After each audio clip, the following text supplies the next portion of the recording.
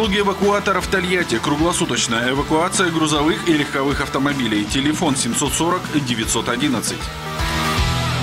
В эти выходные сотрудники МЧС тушили пожар в квартире на Цветном бульваре в доме номер 21. Для тушения возгорания привлекалось 35 человек и 10 единиц техники. Спустя два часа пламя потушили. Площадь возгорания составила 25 квадратных метров. Из пожара огнеборцы спасли двух человек, пятерых эвакуировали. В ЧП никто не пострадал. В настоящее время сотрудники отдела дознания устанавливают точную причину, в результате которой произошел пожар. На посту «Рубеж» сотрудники полиции задержали водителя с поддельным удостоверением. Для проверки документов сотрудники госавтоинспекции остановили автомобиль. В ходе административной процедуры водитель 97 -го года рождения предъявил полицейским водительское удостоверение другой страны. У сотрудников полиции возникло подозрение в его подлинности. В ходе разбирательств и экспертиз выяснилось, что удостоверение имеет признаки подделки. В ходе опроса задержанный признал вину в совершении противоправного деяния и пояснил сотрудникам, сотрудникам полиции, что водительское удостоверение он приобрел через интернет после того, как потерял настоящее. В отношении гражданина возбудили уголовное дело по статье 327 «Подделка, изготовление или сбыт поддельных документов, государственных наград, штампов, печатей и бланков». Погоня в автозаводском районе закончилась задержанием сотрудниками полиции молодого человека без водительского удостоверения. Во время погони к экипажу ДПС, который пытался остановить водителя для проверки документов, присоединились еще пять патрульных автомобилей ГИБДД. На Московском проспекте возле дома номер 45 водитель был задержан. Им оказался молодой человек 2005 года рождения, не имеющий права управления транспортными средствами, который был за рулем незарегистрированного в установленном порядке автомобиля. На предложение инспекторов пройти медицинское освидетельствование на состояние опьянения на месте водитель ответил отказом. Это протокол об отстранении от управления транспортным средством, что пока вы отстранены от управления, пока проходит вся процедура и не можете им управлять. Будете проходить состояние алкогольного опьянения на месте? Нет, не буду. Отказываетесь? Отказываюсь. Сотрудники госавтоинспекции задержали злостную нарушительницу правил дорожного движения. В начале апреля при несении службы инспекторы ДПС, находясь на маршруте патрулирования на улице Свердлова, для проверки документов остановили автомобиль «Лада Калина» под управлением жительницы Ставропольского района. Поведение гражданки показалось полицейским странным. Ну да, говорю, я думала, в это, а в эту полосу можно было входить с того поворота. И, и все, растерялась. Думаю, как я должна была проехать тут правильно. Так. Официально работаете? Нет. Управлял ТС по адресу город Тольятти, улица Свердлова, 62. Отстранена от управления транспортным при наличии оснований, наличии достаточно оснований полагать, э, что лицо, которое при данном средстве находится в состоянии опьянения. Предлагаю вам пройти освидетельствие на состояние алкогольного опьянения по прибору, который имеется у нас в патрульном автомобиле. Согласны пройти освидетельствие на состояние алкогольного опьянения по данному прибору? Давайте. На медицинское освидетельствование на месте женщина согласилась. Наличие паров алкоголя в выдыхаемом воздухе не подтвердилось. Полицейские предположили наличие у водителя наркотического опьянения и предложили задержанной проехать в наркологический диспансер, на что жительница села Подстепки ответила категорическим отказом. Для дальнейшего разбирательства ранее несудимую женщину доставили в отдел полиции, а ее автомобиль поместили на специализированную стоянку.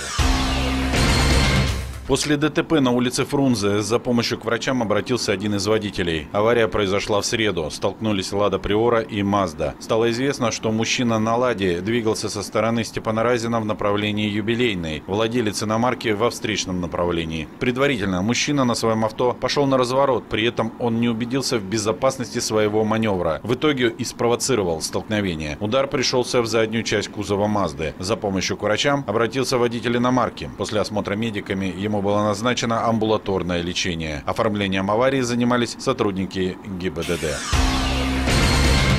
Тольятти прошел конкурс среди юных инспекторов движения «Безопасное колесо-2024», организованный Центром по профилактике детского дорожно-транспортного травматизма и отделом Тольяттинской госавтоинспекции. Маленьким велосипедистам было необходимо показать теоретические знания по ПДД, оказанию первой медицинской помощи, умению водить велосипед. Все это и было продемонстрировано в автогородке. Все ребята были хорошо подготовлены. По итогам конкурса первое место в городском этапе завоевала команда из МБУ дополнительного образования образования «Планета». Второе место заняли ребята из гимназии номер 39. Третьими стали учащиеся 75-й школы. Впереди у ребят областные соревнования.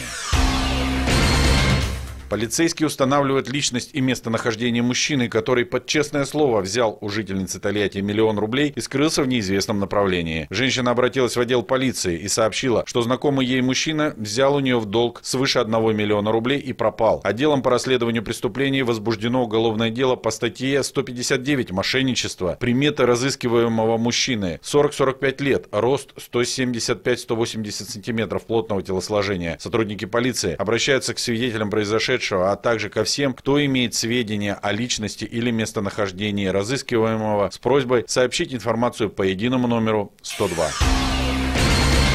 Преступники пробуют новую схему мошенничества. На этот раз злоумышленники пытаются обманывать людей с помощью полиса ОМС. Схема такова. Мошенник звонит под видом страховщика и уговаривает жертву произвести замену полиса. Для этого человеку всего лишь потребуется скачать приложение Минздрава, которое на самом деле является фишинговой программой. После этого мошенники получают удаленный доступ к устройству и похищают деньги жертвы. Специалисты отмечают, что на эту уловку уже попались многие россияне.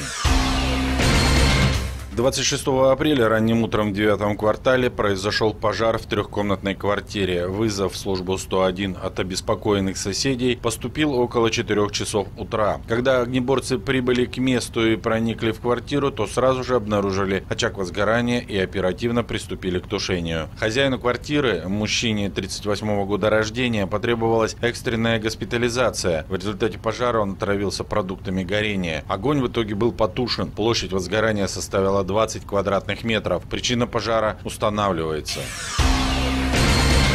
На днях сотрудники МЧС пришли на помощь животному, которое несколько дней просидело на дереве. От жительницы девятого квартала поступил звонок с просьбой о помощи. Женщина рассказала, что напротив ее дома на бульваре Туполева уже три дня довольно высоко на дереве сидит кот. Бедному животному зажало лапу и самостоятельно спуститься он не мог. Прибывшие сотрудники МЧС, используя автолестницу, поднялись к животному, аккуратно освободили его и опустили испуганного кота на землю.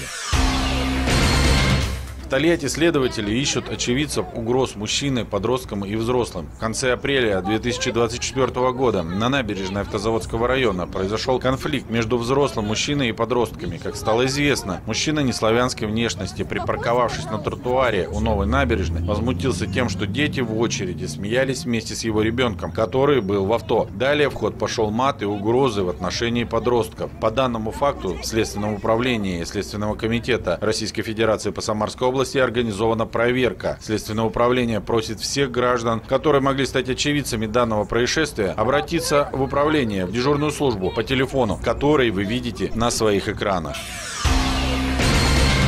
В отдельный батальон дорожно-патрульной службы госавтоинспекции УМВД России по городу Тольятти на службу приглашаются граждане, имеющие гражданство Российской Федерации в возрасте до 40 лет, прошедшие службу в вооруженных силах Российской Федерации, годные по состоянию здоровья, службе на должность инспектора ДПС. Заработная плата от 50 тысяч рублей плюс дополнительное материальное стимулирование, льготная выслуга, возможность выйти на пенсию после 13,5 лет службы, обязательное государственное социальное страхование, бесплатное медицинское обслуживание в медицинских учреждениях МВД России, оплачиваемый ежегодный отпуск, возможность получения выплат за съем жилого помещения или получения служебного жилья, возможность получения бесплатного высшего образования в учебных заведениях системы МВД России. Собеседования проводятся по адресу Тольятти, улица Льва Толстого, дом 39, кабинеты 105 и 107. При себе иметь паспорт, диплом об образовании, военный билет и водительское удостоверение. Телефоны для уточнения информации о наборе на службу 93 60 49, 93 60 18 и 93 60 43.